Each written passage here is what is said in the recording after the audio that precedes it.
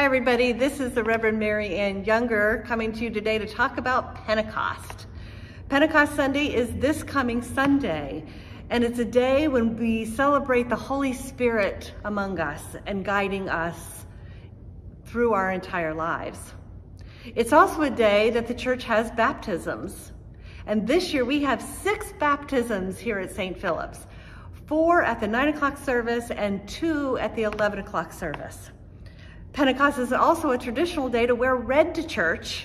So red or orange or anything that is flame-like. And we also have these amazing fire sticks that we will be sharing with you as well this year.